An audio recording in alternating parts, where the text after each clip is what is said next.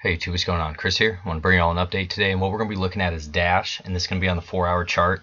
Right now, Dash is sitting at $46.21. We're up 5.69%. What I wanted to bring you is I like to look at patterns, and what we're seeing here is an inverted head and shoulders pattern for dash and this remember is on the four hour time frame and what's happening on the four hour time frame here is we're also breaking out through the neckline. If you can see this that was the overhead resistance that we had. So this would be our neckline of the inverted head and shoulders and we actually got through that on a four hour candle there with some strong volume. So that's significant. Right now our RSI is sitting at 73 on the four hour chart.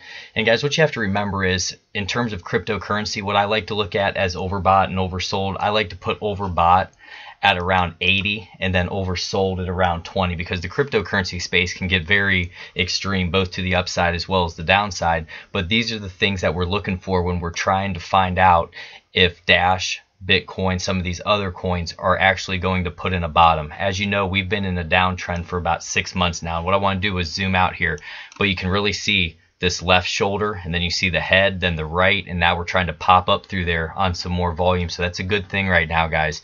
We really want to see that continue.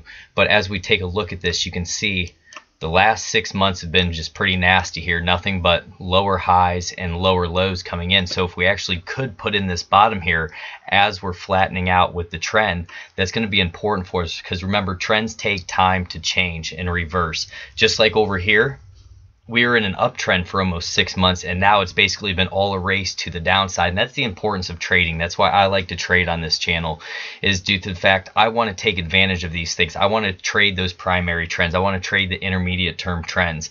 Those are where you're going to see a lot of percentage gain and percentage loss depending on whether you're going long or short in the market.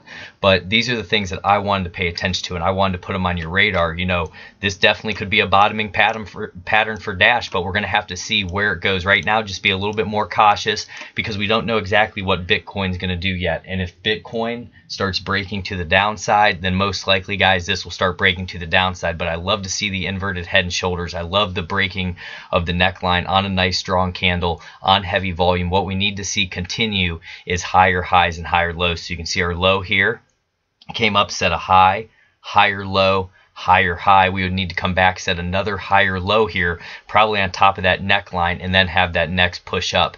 And what's going to be tough though is this going to be a lot of overhead resistance here. There's a big amount of chunk here where we fought back and forth for quite a while. But these are the things that I wanted to share with you guys.